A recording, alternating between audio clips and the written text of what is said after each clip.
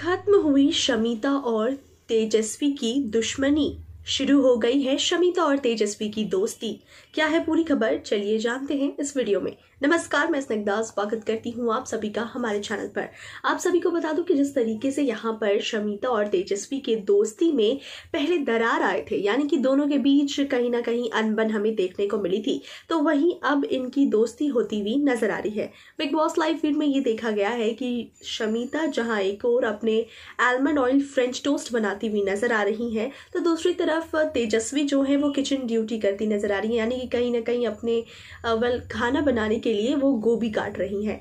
बातों ही बातों में जिस तरीके से वहाँ पर शमिता और तेजस्वी आसपास मौजूद होते हैं तो तेजस्वी शमिता से कहती है कि वाह ये आलमंड ऑयल टोस्ट आखिरकार कैसा लगता है? कैसे टेस्ट होते हैं?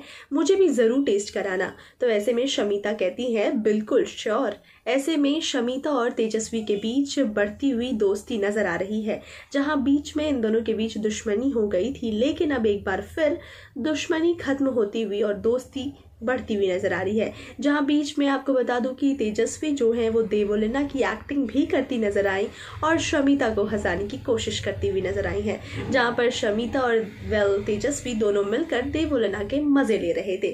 तो यहाँ पर शमिता और तेजस्वी तो आ गए हैं काफ़ी करीब।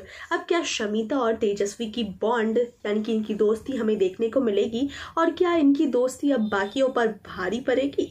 क्या लगता है आपको शमिता और तेजस्वी के इस नए बॉन्ड और इनकी बढ़ती हुई दोस्ती को देखकर कमेंट बॉक्स में ज़रूर बताएँ। तमाम अपडेट्स के लिए बने रहें चैनल के साथ।